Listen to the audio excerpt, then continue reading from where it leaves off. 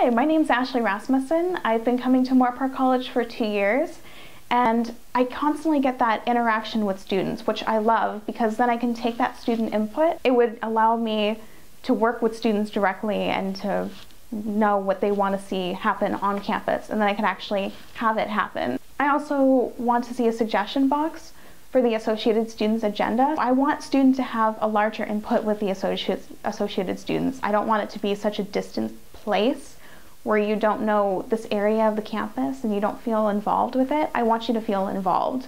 I want to have more on-campus events, so such as ice cream socials, spirit week, or things like that, you know, things that get students involved on campus and want to be a part of the community. We could have tea and coffee during finals week, more involvement, more on-campus activities, more student involvement.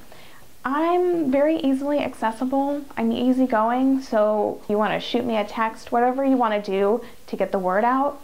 I'm very open, and I would have open door policies if you just want to walk in, if you want to hang out, if you need a friend, whatever you need, I would be there for you guys.